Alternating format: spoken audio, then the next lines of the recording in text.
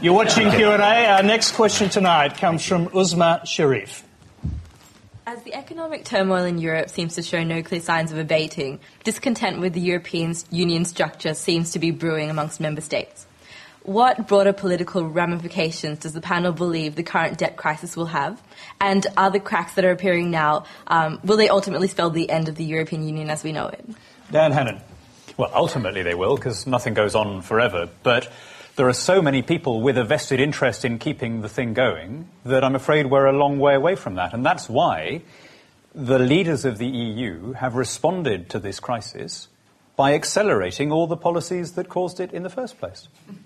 There's a debt crisis, and they've responded with massive, unprecedented levels of debt. Right now, you know, all of us know in our personal lives if you're maxed out on your credit card, you're struggling with a mortgage, and the answer is not to spend more, it's to spend less. But of course, governments think, that, well, you have to be an economist to, to think that the answer is So, Dan, I'm just going to ask this question because yeah. it's quite a sort of radical idea that you just let countries go under. But is that what you would do? Hang would on, it's not, Greece no, it's not letting Greece go under. It's very important that we get the economy, It's very important that we get the, the vocab economy, right on the this. Spanish economy. Right. It's not letting Greece go under. What is forcing Greece under is the current policy. They're being crucified with an overvalued exchange rate. You know, their economy contracted by 6% last year, 20% unemployment. They are being sacrificed to keep the euro together. And when we talk about bailing out Greece or sending assistance to Greece, that money is not going to the people of Greece. The money is going to rescue some very wealthy European bankers and bondholders from the consequences of their own errors. But the repayment will come from the Greek taxpayer. So you, I have some uh, sympathy with that aspect of what the people on the streets in Athens are complaining about.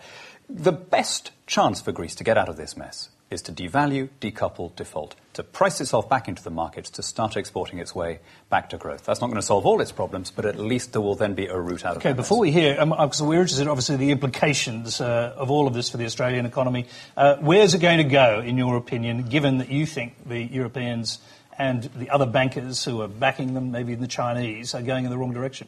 Uh, yes, and for that reason, it's going to get worse before it gets better. Uh, what should happen is an orderly unbundling of the euro. If that had happened three years ago, we wouldn't be in the mess that we're in now. What I suspect is going to happen is that the EU will do precisely the opposite of that. It will r- respond with additional integration, common taxes, fiscal federalism, taking more and more power to Brussels. I mean, the, you know, we have a crisis caused by the inability of different economies to sustain the same economic policy. Right? So their, their, answer to that is to say, let's do it even more. You know, if you hurt yourself jumping out of a third story window, let's jump out of a tenth story window and see if that works any better. You know, when are they going to understand that the problem is bailing out and borrowing? And that the solution is not, not going to be to do more of that. The solution is to spend less and to allow each country to tailor its own monetary policy to okay, its own Bill needs. Shorten, if, if Dan is right, um, we've got more pain coming down the track from in Europe and uh, possibly the collapse of the European market as well. Okay. What are the implications of that for Australia?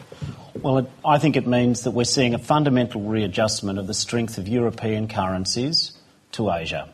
Um, I, again, I'm not a Europe expert per se, and so obviously Daniel will have some views, but what we're seeing is the emergence or the re-emergence of Asia after 400 years of being the economic powerhouse of the world. I think that shift is on, and I don't think it's going to go back to Europe.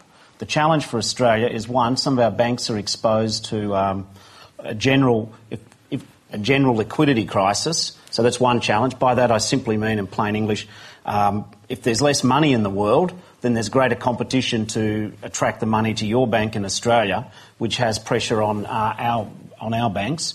Uh, the second thing is, I think the Australian dollar will stay up for a while, which is great if you're going overseas to Europe to visit, you know, Athens but it's not so great if you're in tourism, uh, domestic tourism or education services or manufacturing. So the high dollar is an issue. The high dollar is also compounded separately from Europe by our mining boom. That's why our mining tax is on the right track. That is why it is right to share the prosperity of Australia's mining boom uh, with the rest of Australia for reducing the corporate rate of tax. It may be of interest to our Dan that in Australia our net government debt, Commonwealth debt, is going to peak at 8.5%. These are numbers which European jurisdictions simply can't believe. Our unemployment's at 5.1%. I'm not saying there's not pressure. Yeah, no, I would pressure. gladly swap my problems for yours, yeah. Thank you. Okay. All right. Oh, you're done. All right. let's, hear from, uh, let's hear from Julie Bishop on this and we'll move on to uh, specifically Australian economic questions. I believe that the European crisis could be with us for some time. A question question is whether or not Europe goes into recession. It will come to a head in one sense in the next month as to whether Greece is able to um, get through the um, restructuring. Uh, it may default. The, the, bringing together of the Greek government, uh, the European governments, the European Central Bank, the IMF, and the private sector creditors, uh, that might not work there may well be a default, and the question is, is it going to be orderly or disorderly? Uh, and the bigger question is, is there going to be a default in a much bigger country like Italy? Indeed. Portugal, Spain, then what about um, Italy? Can we ask Dan about that while we're will, on the subject? And will there be a backlash from Germany and France? And then how that impacts in Australia? Of course, as Bill talked about the high Australian dollar, I think we've got to live with the fact that the yeah, Australian dollar will be high for quite some time. And no party is going to um, not float the dollar. No. We're not going back. So I think we have to live with the high Australian dollar. That's why one of our parties up for it. Oh, that's, why. that's why. Actually, so, that's so, why one that's, of our that's actually that's a very good point for us to come in with our next question. That's why you, one of you, our policies you might have a is that there to... shouldn't be a carbon tax on the economy at this okay. time. All right. This is Q and A. It's live and interactive. Our next question comes from John Moore. Uh, the um,